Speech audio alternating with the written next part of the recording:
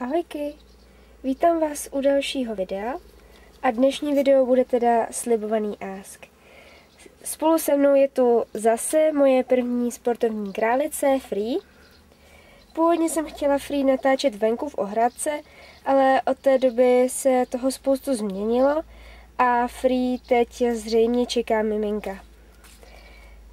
A proto budu Free chvilku točit teď vevnitř a potom, abych ji nerušila, tak budu točit venku Silvíka. Tak jo, všem vám moc děkuji za všechny otázky a doufám, že se vám tohle video bude líbit. A myslím, že můžeme jít na to. Jak dlouho se věnuješ hopu? Nebo jak dlouho skáčeš?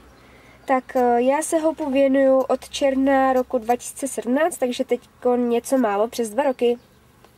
Druhá otázka. Od kolika roku chodíš na králičí hop? Tak já se králičímu hopu věnuji od 15 let. Kolik máš králíků, nebo kolik máš ušáků? Tak já mám králíčky tři, a to tady právě Silvíka, Free a Jupíka, což je můj první králíček.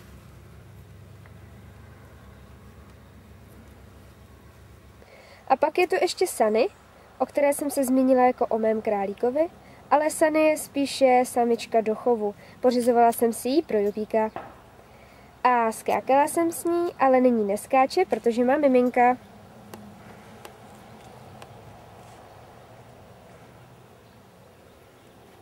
Plánuješ další? Tak, když jste se mě ptali, tak jsem neměla v plánu si pořídit žádného dalšího králíčka. Měla to v plánu pouze ségra a ta si potom pořídila tuto rozkošnou holčičku Margery Brave Jumpers.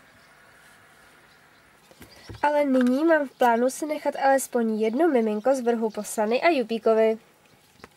Ještě ale nevím, které z nich to bude.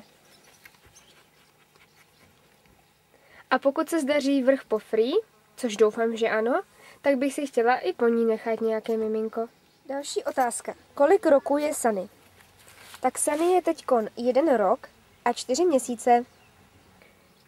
Kolik je Free? Free jsou momentálně dva roky a tři měsíce. A nyní tu mám pro změnu jupíčka. Máš raději samice nebo samce? Tak tohle je doopravdy těžká otázka. Já vlastně ani nevím. Mám hodně ráda králičí samičky, ale kluci jsou bezva, zatím mám vlastně dva kluky a jednu holku, takže další králíček asi spíš bude holčička, ale asi záleží na tom, jaký králíček to je. Takže mezi pohlavím bych se asi nemohla rozhodnout, jaký mám opravdu radši. Jaký je tvůj vzor v králičím hopu? Tak já asi nemám úplně konkrétní vzor. Koukala jsem se různě na videa a inspirovala jsem se nebo na závodech často sleduju ostatní, ale nemám úplně jako vyloženě konkrétní vzor. Máte už nějaké umístění? Tak eh, moji králíčci Free a Sylvie vybojovali už celkem pět umístění, ale trvalo opravdu dlouho, než jsme se na oficiálních závodech poprvé umístili. Nyní pro změnu Margie. Poslední otázka. Na jaké závody se chystáš v nejbližší době? Tak my se v nejbližší době chystáme na uh, závody do Chotěboře na Single Cup 27. července, kam teda pojedu jenom se Silvíkem a Margie bude se Segrou prvně startovat.